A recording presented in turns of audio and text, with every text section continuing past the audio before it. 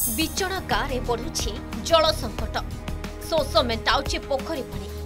କେନ୍ଦ୍ରାପଡ଼ା ଜିଲ୍ଲା ପାଟକୁରା ନିର୍ବାଚନ ମଣ୍ଡଳୀ ପଦ୍ମପୁର ପଞ୍ଚାୟତ ଅନ୍ତର୍ଗତ ବିଚଣା ଗାଁରେ ଏକ ନମ୍ବର ୱାର୍ଡରେ ଲାଗି ରହିଛି ପାନୀୟ ଜଳ ସମସ୍ୟା। ଏହି ୱାର୍ଡରେ ଦୁଇଶହରୁ ଉର୍ଦ୍ଧ୍ୱ ପରିବାର ବସବାସ କରୁଥିବା ବେଳେ ମାତ୍ର ଗୋଟିଏ ନଳକୂପ ଅଛି। ଆଉ ଯେଉଁଥିରୁ ଲୌହଯୁକ୍ତ ପାଣି ବାହାରୁଛି। ସ୍ୱଚ୍ଛ ପାନୀୟ ଜଳ ବ୍ୟବସ୍ଥା ନଥିବାରୁ ଗ୍ରାମବାସୀଙ୍କ ଶୋଷ ମେଣ୍ଟାଉଛି ପୋଖରୀ ପାଣି। ଆଉ ଏହି ପୋଖରୀ ପାଣିକୁ ଗରମ କରି ଛାଣି ପିଇବା ପାଇଁ ବାଧ୍ୟ ହେଉଥିବା କହିଛନ୍ତି ଗ୍ରାମବାସୀ ଯାହାଫଳରେ ପେଟ ରୋଗ ସମେତ କିଡନୀ ଜନିତ ରୋଗରେ ଆକ୍ରାନ୍ତ ହେଉଥିବା ଅଭିଯୋଗ ହୋଇଛି। କେବଳ ସେତିକି ନୁହେଁ ଜିଲ୍ଲାର ମହାକାଳପଡ଼ା ସମେତ ରାଜନଗରରେ ମଧ୍ୟ ପିଇବା ପାଣିର ସମସ୍ୟା ଦେଖାଦେଇଛି। ଏନେଇ ବାରମ୍ବାର ଜିଲ୍ଲାପାଳଙ୍କ ସମେତ ବିଧାୟକଙ୍କୁ ଅବଗତ କରାଇଥିଲେ ମଧ୍ୟ କୌଣସି ସୁଫଳ ମିଳିନଥିବା ଅଭିଯୋଗ କରିଛନ୍ତି ଗ୍ରାମବାସୀ।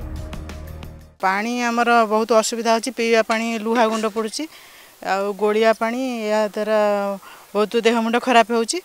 ଆଉ ସେଥିପାଇଁ ସରକାର ଯଦି କିଛି ପଦକ୍ଷେପ ନେତେ ପାଣି ପାଇଁ ଆମେ ଭଲ ଉପକୃତ ହୁଅନ୍ତୁ ଆଉ। ଆମର ତ ଏଠି ଟ୍ୟୁବୱେଲ୍ ଆଇରନ୍ ବାହାରୁଛି ଆମେ ସେ ଗଡ଼ିଆ ପାଣି ଆଣିକିରି ପିଉଛୁ ଫୁଟେଇକିରି ଦେହ ପା ଅସୁସ୍ଥ ହେଉଛି ପିଲାମାନଙ୍କର ସେଥିପାଇଁ ଆମକୁ ଟିକେ ପାଣିର ସାହାଯ୍ୟ ମିଳିଲେ ଆମେ ଉପକୃତ ହେବୁ ଆଉ। ଆଉ ଅଭିଯୋଗ କରିଥିଲୁ ସେ ତ ଶୁଣୁନାହାନ୍ତି କି ବାର ବାର ଆମେ ଅଭିଯୋଗ କରୁଛୁ ସେ ଶୁଣୁନାହାନ୍ତି।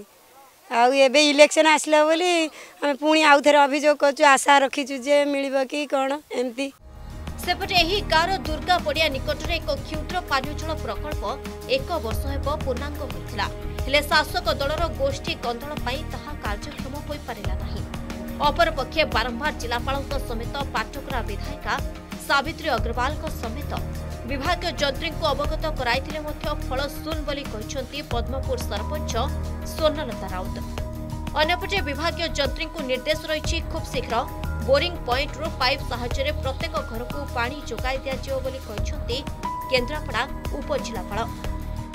ପାଞ୍ଚ ବର୍ଷ ହେଲା ମୋର ଥିଲା ତ ପାନୀୟ ଜଳର ସମସ୍ୟାଟା ସମାଧାନ କରିବି ତାହା ଏପର୍ଯ୍ୟନ୍ତ ସମାଧାନ ହୋଇପାରିନି। ଆମର ବିଭାଗୀୟ ଅଧିକାରୀ ଏ, ତ ଉଁ, କନିଷ୍କ ଯନ୍ତ୍ରୀ ତ ଆଉ ଆମର ଉଁ, ବିଧାୟିକା ସମସ୍ତଙ୍କୁ ବହୁତ ଆପ୍ରୋଚ୍ କରୁଛି। ତ ସେ ମୋରି ସମୟ ଭିତରେ ମୁଁ ଚାହୁଁଛି ମୋର ପାନୀୟ ଜଳଟା ସମାଧାନ ହେଇଯାଉ।